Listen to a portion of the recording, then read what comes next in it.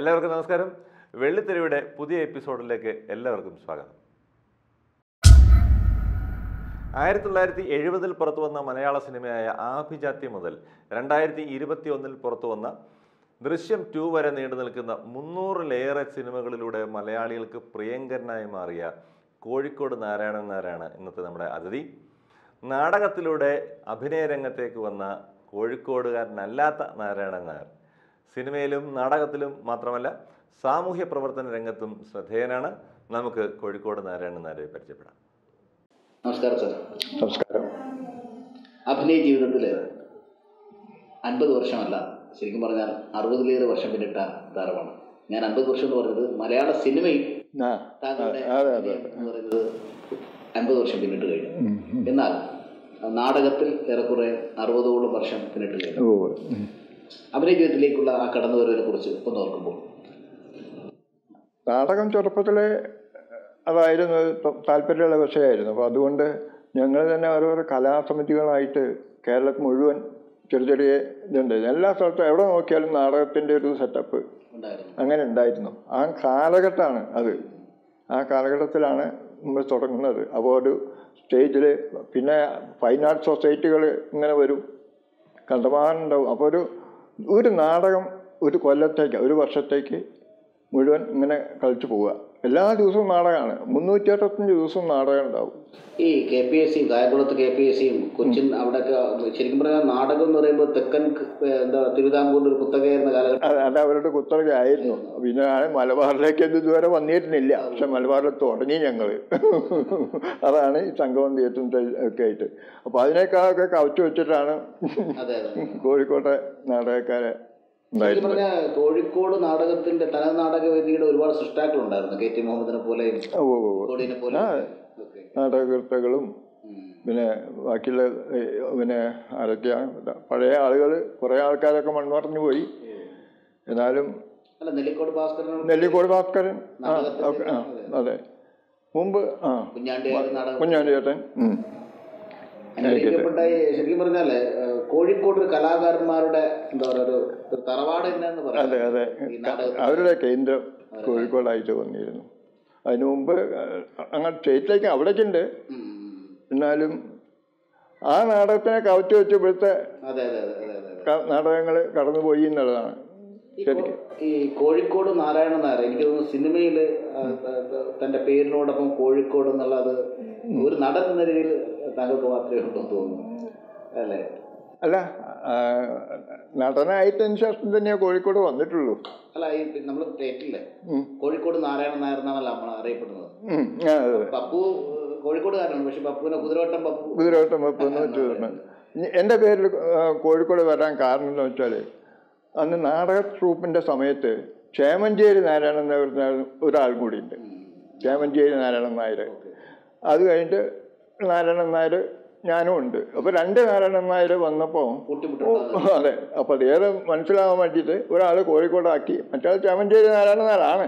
ഞാൻ വെറും എന്ന് മാത്രം പറഞ്ഞുകൊണ്ട് അതാണോ സംശയിക്കല്ലോ. അപ്പൊ അങ്ങനെ ഒരു പ്രശ്നം വരുന്നതുകൊണ്ട് ഒരാൾ കോഴിക്കോടാക്കി. അത് അവർ തന്നെ ട്രൂപ്പിൽ നിന്ന് അങ്ങനെ ചെയ്തു പോയതാ.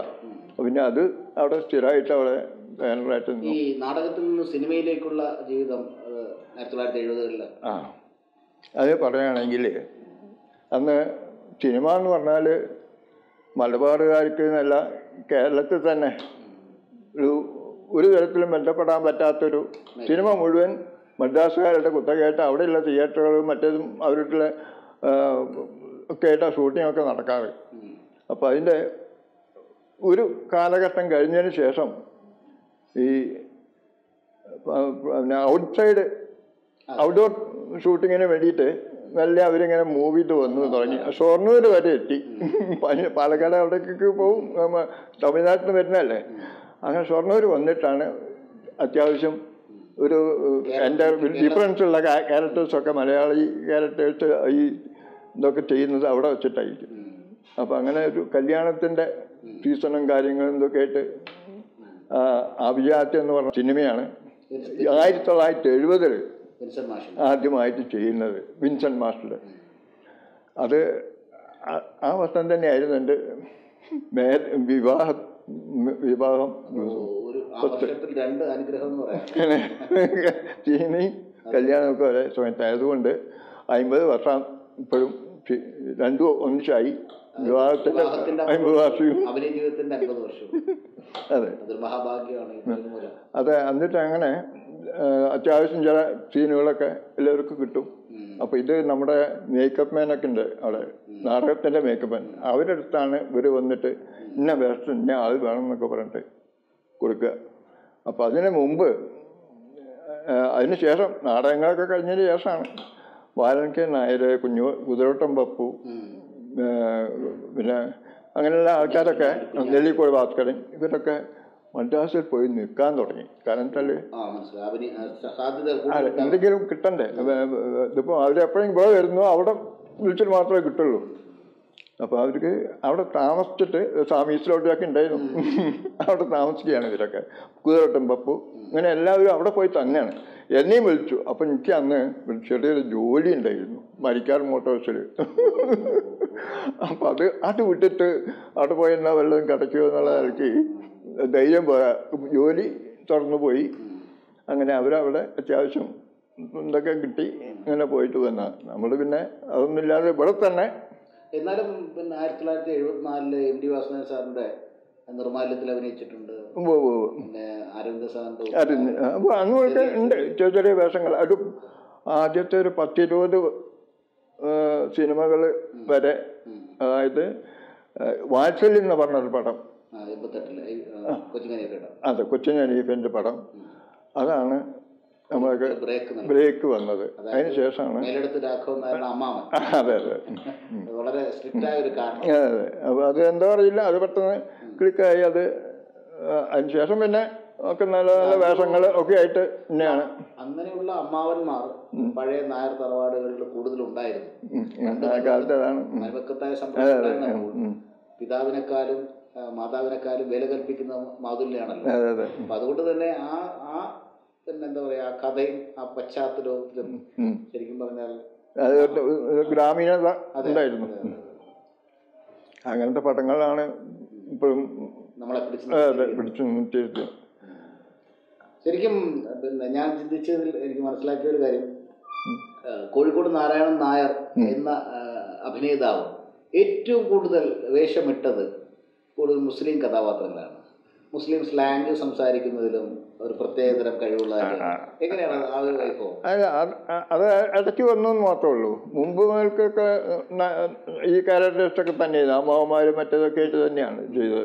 ധാരാളം വേഷങ്ങൾ മമ്മൂട്ടിയുടെ കൂടെയും മോഹൻലാലിന്റെ കൂടെയും. ഇവരാണല്ലോ അന്ന് മെയിൻ ഇത്. അപ്പോൾ അവരുടെയൊക്കെ കൂടെ മമ്മൂട്ടിയുടെ കൂടെ ഞാനൊരു പത്ത് നാൽപ്പതോളം സിനിമ ചെയ്തിട്ടുണ്ട്. പിന്നെ മോഹൻലാലിന്റെ കൂടെയും പത്ത് നാൽപ്പത് സിനിമകൾ ഉണ്ടാവും എന്നാണ് എന്റെ ധാരണ.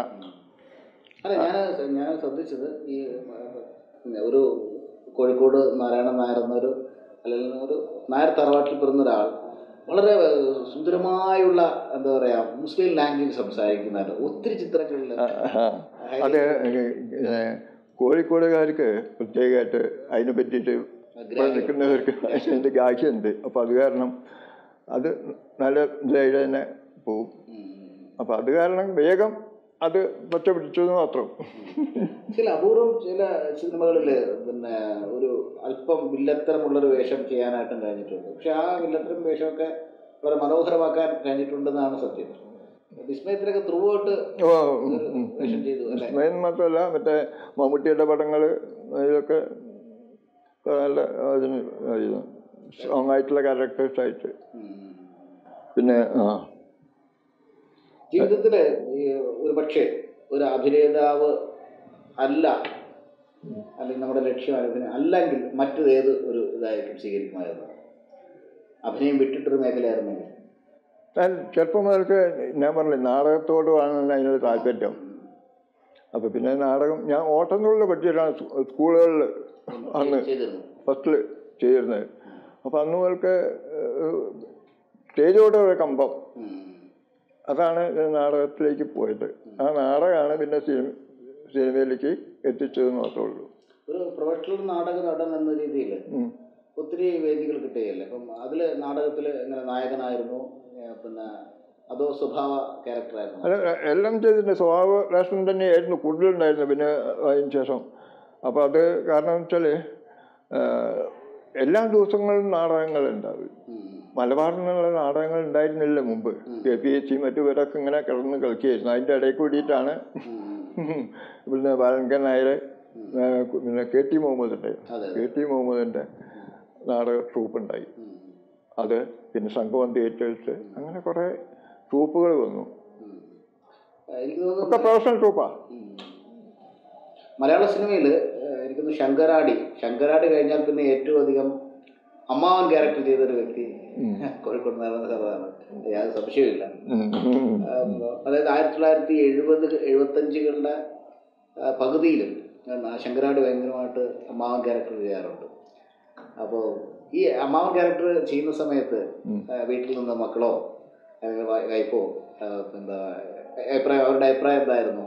ഇത്തരത്തിൽ സ്ഥിരമായിട്ടൊരു അമ്മാവൻ ക്യാരക്ടർ ചെയ്തു അത് അതിപ്പോൾ നമുക്ക് ചെയ്യാൻ പറ്റില്ല. നമുക്ക് കിട്ടുന്ന സ്ഥലം ചെയ്യാൻ പറ്റുക. അപ്പൊ ഏതെങ്കിലും ഒരു സാധനം ക്ലിക്ക് ആയിട്ടുണ്ടെങ്കിൽ അവിടെ പിടിച്ച് ആ വരുന്ന അവ എഴുതി വെച്ചു കഴിഞ്ഞു. അമ്മാവൻ ആരാണെന്നായിരുന്നു എഴുതി വെച്ചു കഴിഞ്ഞു. അതാണ്. വാത്സല്യ വാത്സല്യത്തിൽ തുടങ്ങിയ അമ്മാവനാണ് അവസാനം ഹിറ്ററിലും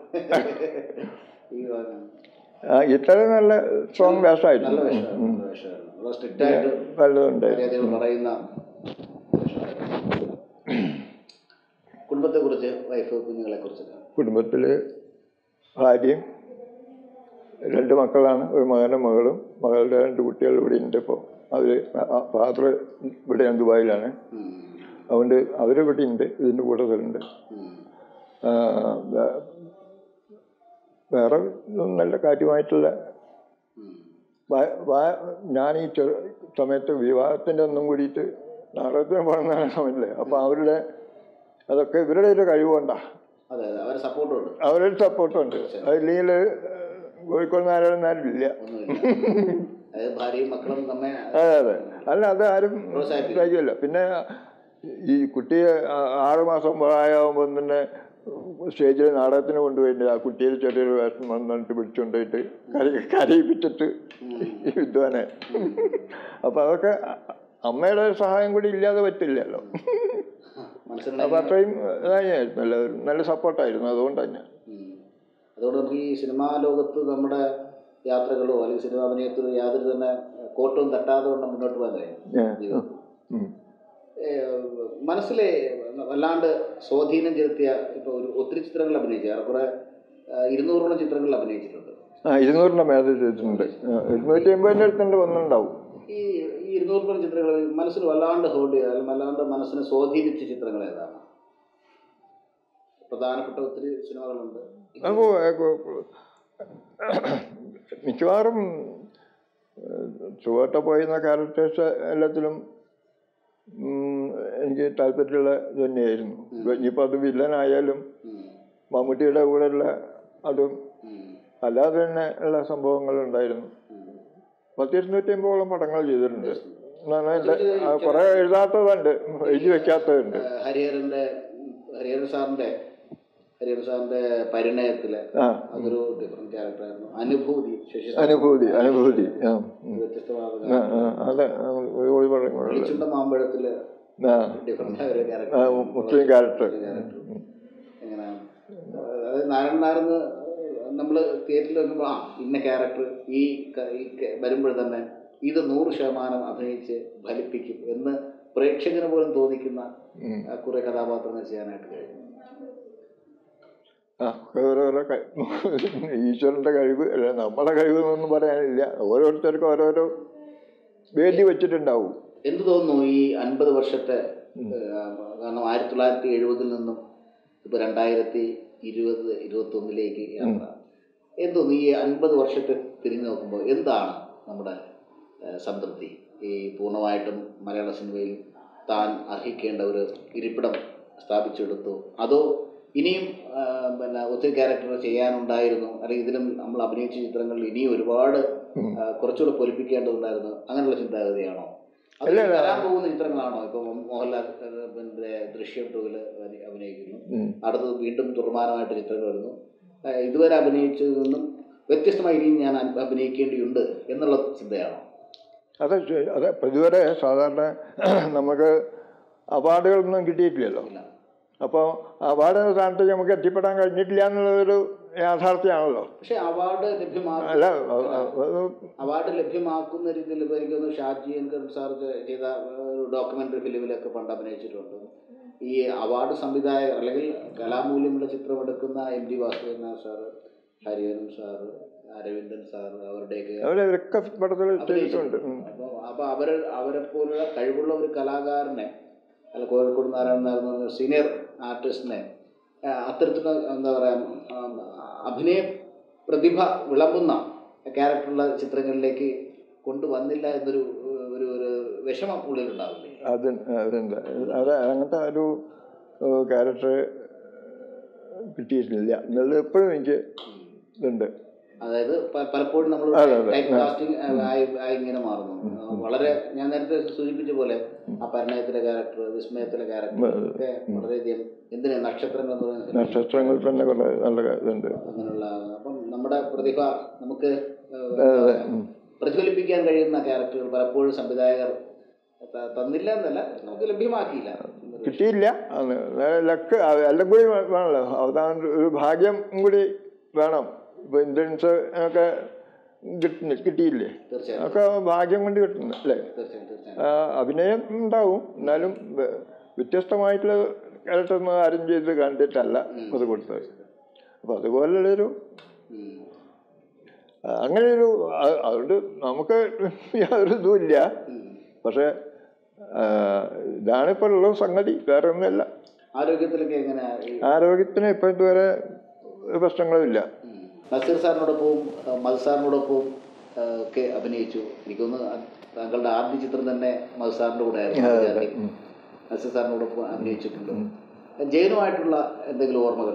ജയന്റെ കൂടെ അഭിനയിക്കാനൊരു അവസരം വന്ന് വീണിട്ടില്ലായിരുന്നു. എനിക്ക് ഒക്കെ ഒരു പടമൊക്കെ പറഞ്ഞു വെച്ചതുണ്ട് ആ പടത്തിൽ ആയിട്ടില്ല. അതിന് മുമ്പ് ഞാൻ പോയി എന്ന് മാത്രം. അത് വലിയൊരു ഇതായി പോയി. ജയൻ എന്ന് പറഞ്ഞത് ആ ക്യാരക്ടർ ആ സമയത്ത് സൂപ്പർ സ്റ്റാറാണ് ജയനാണ്. ജയനാണ് സൂപ്പർ സ്റ്റാർ അല്ലേ?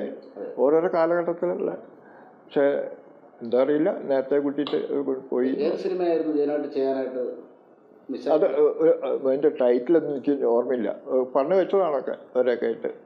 മലക്കനായാലും ഈ കോഴിക്കോട് പിന്നെ ശശി സാറിന്റെ പടമായിരുന്നാലും ടി ദാമോദർ സാറിന്റെ സ്ക്രിപ്റ്റ് ആയിരുന്നാലും കോഴിക്കോട് ഇപ്പൊ കുതിരവട്ടം പപ്പു. കുഞ്ഞാണ്ടി പിന്നെ വെളിപ്പൂർ ഭാസ്കർ സാർ ഇങ്ങനെ ഒരു ഒരു അപ്പോൾ അപ്പൊ കോഴിക്കോടുകാരനായ മുഖാന്തരമാണ് അത് പറഞ്ഞത്. അങ്ങനെ വന്നതാണ്. അപ്പം എന്നിട്ട് ജയനും ഇവിടെ ഷൂട്ടിംഗ് ഉണ്ടാകുമ്പോൾ ഇവിടെയൊക്കെ വരാറുണ്ട് മാത്രം. അപ്പോൾ നമ്മൾ തന്നെ നാടകത്തിലും മറ്റേതിലൊക്കെ ആയിട്ട് അറിയപ്പെടുന്നൊരു വ്യക്തിത്വമായി മാറി കഴിഞ്ഞ വർഷത്തെ ജെയിംസ് പ്രതി അവാർഡ് ഏഹ്, ലഭ്യമായല്ലോ. ആ ആ ആ. ജയൻ എയ്റ്റി. ജയനൈറ്റ് എന്ന അവാർഡ് ഈ പറഞ്ഞ നാലാം ലഭ്യമായി. ആ സൗഹൃദം ഉണ്ടായത് അല്ലേ? അതെ അതെ ആരോഗ്യത്തെക്കുറിച്ച്? ഏ? ആരോഗ്യം. ആരോഗ്യത്തെ പ്രശ്നങ്ങളൊന്നുമില്ല. ഒരു പ്രശ്നമില്ല ഇപ്പോഴും അതാ എൺപത് ഏറെക്കുറെ എൺപത്തൊന്ന് വയസ്സായി തോന്നുന്നു അല്ലേ? ഏ?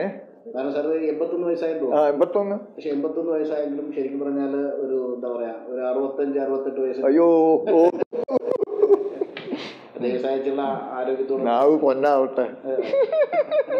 അല്ല ഞങ്ങൾ കാണുന്ന ഇപ്പം സിനിമയിൽ കാണുന്ന ആയിരത്തി തൊള്ളായിരത്തി എൺപത്തി എട്ടിലാണ് വാത്സല്യം ഇറങ്ങിയത് എന്റെ ഓർമ്മ. ആ എൺപത്തെട്ടിലെ അമ്മാവൻ തന്നെയാണ് രണ്ടായിരത്തി ഇരുപത്തി ഒന്നിലും അത് മുഖം ആ ആ ഫേസ് ചെറു ചെറുതായിട്ട് മുഖം ഇപ്പം ഇതായിട്ടെന്ന് പറഞ്ഞല്ല. പക്ഷേ ആ ശബ്ദവും ആ പറഞ്ഞ ആ- ഒരു മുഖ ഐശ്വര്യമാണ് ഇപ്പോഴും. അത് വലിയ കാര്യമല്ലേ? അതൊക്കെ നമുക്ക്. നമ്മൾ വളർത്തിയെടുത്തതല്ല അത് നമുക്ക് ഗിഫ്റ്റായിട്ട് കിട്ടിയതാണ്. നാരായണ സാറ് സിനിമയിൽ സജീവമായി തുടരുമ്പോഴും. കുടുംബ പ്രേക്ഷകരുടെ അതായത് മിനി സ്ക്രീനിലും താരമായി കാണുന്നുണ്ട്. അതെങ്ങനെയാണ് സമയം കണ്ടെത്തി മിനി സ്ക്രീനിലും അത് വരുന്നത്? അല്ല അന്ന് സിനിമ നമ്മൾ പറഞ്ഞില്ലേ അത് ഔട്ട്സൈഡ് ഇതൊക്കെ പോകുമ്പോൾ കിട്ടുന്നതല്ലേ ഉള്ളൂ. അതിന് മുമ്പേ പ്രൊഫഷണൽ ട്രൂപ്പുകളായിട്ട് ഇവിടെ മലബാറിൽ പോകാനുള്ളൊരു സൗകര്യം കിട്ടി. അല്ല ഞാൻ ഈ സീരിയലുകളിൽ സിനിമയോടൊപ്പം തന്നെ സമയം കണ്ടെത്തി ചെയ്തിരുന്നു? അത് പിന്നെ എപ്പോഴെങ്കിലും വരില്ലേ? ഓ സിനിമ വരുന്നുള്ളൂ. അപ്പൊ അപ്പോൾ ഇത് കാരണം ഇതിങ്ങനെ കൂടുതലായി. പിന്നെ അവസാനം നിർത്തിയതാണ്. മാത്രമല്ല ചെറിയ കുഞ്ഞു ഡോക്യുമെന്ററികൾ ചെറിയ ചെറിയ ഷോർട്ട് ഫിലിംസിൽ അതിലും മുഖം കാണുന്നത് കാണാം. ഈ പറഞ്ഞ കോഴിക്കോട് നിന്ന് ഒരുപാട് മലപ്പുറം ഭാഗത്തു നിന്നാണ് ഒരുപാട് ഷോർട്ട് ഫിലിമുകൾ ഇറങ്ങുന്നത്. അതിലും അല്ല അത് വളരെ ചുരുക്കം ചിലതൊക്കെ അതും ചെയ്തിട്ടുണ്ട്. അന്ന് കിട്ടുന്നതൊക്കെ ചെയ്യാൻ തന്നെയുള്ളൂ ഞാൻ നാരായണ സാറിനെ കുറിച്ച് മനസ്സിലാക്കിയ ഏറ്റവും വലിയൊരു കാര്യം ഒരു ഭയങ്കരമായ മനുഷ്യസ്നേഹിയാണ് മനുഷ്യസ്നേഹി എന്ന് പറഞ്ഞാൽ സാധാരണ എന്താ പറയുക വളരെയധികം സമൂഹത്തിൽ വിഷമിക്കുന്ന ജനങ്ങളുടെ അടുത്ത് ഒരു സാന്ത്വനമേകുവാൻ പല ഫങ്ഷനുകളിലും ഇങ്ങനെ പോയിട്ട് അതൊരു കാരുണ്യ പ്രവർത്തനങ്ങൾക്ക് അവരെ കൊടുക്കുന്ന സാന്ത്വനം ഞാൻ തന്നെ ലൈവിൽ കണ്ട ഒരു സംഭവം എന്നെ ഹൃദയത്തെ സ്പർശിച്ചത്. ഒത്തിരി എന്താ പറയുക മനസ്സ് വിഷമിച്ച അല്ലെങ്കിൽ ഓട്ടിസം വന്ന് സുഖമില്ലാതെ കിടക്കുന്ന വ്യക്തികൾ. പലർക്കും എണീക്കാൻ പോലും കഴി- കഴിയാതെ ബെഡിൽ കിടക്കുന്ന വ്യക്തിയുടെ അടുത്തൊക്കെ പോയിട്ട് അവരുടെ അടുത്ത് തലോടിക്കൊണ്ട് അവർക്ക് നന്നായി വരും ശരിയാവും അസുഖങ്ങൾ മാറും എന്ന് പറയത്തക്ക രീതിയിൽ ഈ ഒരു ഒരു നല്ലൊരു മനസ്സുണ്ട്. എന്തായാലും അത് എവിടെ തുടങ്ങിയതാണ് ശരിക്കും പറഞ്ഞാൽ? എവ- എവിടെ തുടങ്ങിയെന്നല്ല ആദ്യം മുതൽക്കേ ഉള്ളതാണ്. ആദ്യം മുതൽക്കേ ഉള്ളത് തന്നെയാണ് നമുക്ക് കൊണ്ട് തുടർന്ന് പോകാൻ പറ്റുള്ളൂ.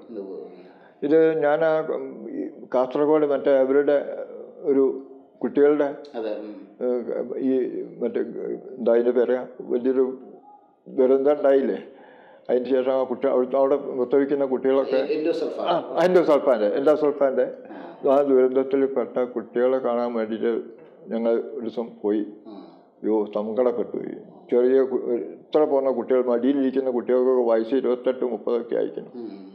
ചെറിയ കുട്ടികളാണ്. ഇപ്പോൾ വലിയ പോഷകം ആഹാരം ഇല്ലാത്തതുകൊണ്ടല്ല അവർ ഇപ്പോൾ അവർക്കൊക്കെ ട്രീറ്റ്മെന്റൊക്കെ കൊടുത്തിട്ട് വലിയ ഇതായി. സംഗതി കുറേ മാറ്റങ്ങൾ വന്നു തുടങ്ങിയിട്ടുണ്ട്. നല്ല മനസ്സുള്ള ഒരു വ്യക്തിക്ക് മാത്രമേ ഇത്തരം വ്യക്തികൾക്ക് അല്ലെങ്കിൽ ഇത്തരം അസുഖം ബാധിച്ച ആളുടെയൊക്കെ അടുത്ത് പോയി ഒരു സാന്ത്വനം സാന്ത്വനമാകാം നമ്മളൊക്കെ ഒന്ന് തൊടാൻ പോലും മടിക്കുന്ന വ്യക്തികളുടെ അടുത്ത് പോയിട്ട് നല്ല മനസ്സാണ്. അപ്പോൾ ഞാനത് കണ്ണ് കൂടെ ഉണ്ടായിരുന്നില്ലേ അവിടെ ഇല്ല? കാസർഗോഡില്ല. കാസർഗോഡല്ല മറ്റേ മണാശ്ശേരി. മണാശ്ശേരി. അവിടെ കുട്ടികളൊക്കെ ഉണ്ടായിരുന്നു ഇങ്ങനെയുള്ള അടുത്ത് പോയിട്ട്. സാന്ത്വനപ്പെടുത്തുകയും അവരെ തലോടുകയും ചെയ്യുന്ന ഒരു നിമിഷം എന്റെ എന്റെ എന്റെ ജീവിതത്തിൽ എനിക്ക് താങ്കളുടെ സിനിമ കണ്ടത് അതിനേക്കാളേറെ എന്റെ ഹൃദയത്തെ സ്പർശിച്ചതാണ് ആ ഒരു അനുഭവം. നമസ്കാരം. ദൈവം അതെ. നല്ലൊരു കാരുണ്യത്തിന്റെ അല്ലെങ്കിൽ സ്നേഹത്തിന്റെ നിമിഷം. ഇതൊക്കെ നമ്മൾ നമുക്ക് കിട്ടുന്ന ഒരു അനുഭവങ്ങളായിട്ട് തീർച്ചയായും, അല്ല അതിനുള്ള മനസ്സ് തോന്നിയത് വലിയ കാര്യം അങ്ങനെയൊക്കെയുള്ള കാരണം നമ്മുടെ ജീവിതത്തിൽ നാം എന്തൊക്കെ ഏതൊക്കെ ഉയർച്ചയിൽ വന്നാലും അല്ലെ ഏതൊക്കെ നിലയിലെത്തിയാലും നാം സഹജീവികളെ സ്നേഹിക്കണം. അവരോട് നന്നായി പെരുമാറണം എന്നുള്ളൊരു പാഠം താങ്കളിൽ നിന്നും സിനിമാ ലോകം പഠിക്കട്ടെ. ഇത്രയും നേരം വളരെ കുറച്ച് സമയം അനുവദിച്ചതിന് നാരായണനാഥ് സാറിനോട് എന്റെ സ്നേഹം നിറഞ്ഞ നന്ദി. കടപ്പാടും രേഖപ്പെടുത്തുന്നു ഇനിയും ഒരുപാട് സിനിമകളിൽ അമ്മാവനായിട്ട് മാത്രമല്ല അച്ഛനായിട്ട് മാത്രമല്ല. അത് വളരെയധികം തീക്ഷ്ണമായ കഥാപാത്രങ്ങൾ ജ്വലിപ്പിക്കുന്ന കഥാപാത്രങ്ങൾ നമ്മുടെ സംവിധായകർ ഇദ്ദേഹത്തിന് നൽകട്ടെ. കാരണം കോഴിക്കോടിന്റെ ഈ കലാകാരൻ വളരെ കഴിവുള്ള കലാകാരനാണ്. വളരെയധികം നല്ല ഹൃദയത്തിന്റെ ഉടമയാണ്. ഇനി ഒരുപാട് വർഷം ജീവിച്ച് ഇരിക്കുവാനും ഒത്തിരി കഥാപാത്രങ്ങളിലെ മലയാള സിനിമയ്ക്ക് പരിചയപ്പെടുത്തുവാനും നല്ല പുരസ്കാരങ്ങൾ ലഭ്യമാക്കുവാനും ശരിക്കും പറഞ്ഞാൽ നമ്മുടെ സംസ്ഥാന സർക്കാർ ആദരിക്കേണ്ട അമ്പത് വർഷം കഴിഞ്ഞ അമ്പത് വർഷം അഭിനയത്തിൽ തികവുഞ്ഞ ഒരു വ്യക്തിയാണ്. ആദരിക്കേണ്ട വ്യക്തിയാണ് ബഹുമാനിക്കേണ്ട വ്യക്തിയാണ്. അദ്ദേഹത്തെ പോലെ ഒരു വ്യക്തിയെ മലയാള സിനിമയിൽ ലഭ്യമായത് മലയാള സിനിമയുടെ പുണ്യമായി കാണുന്നു. നന്ദി നമസ്കാരം.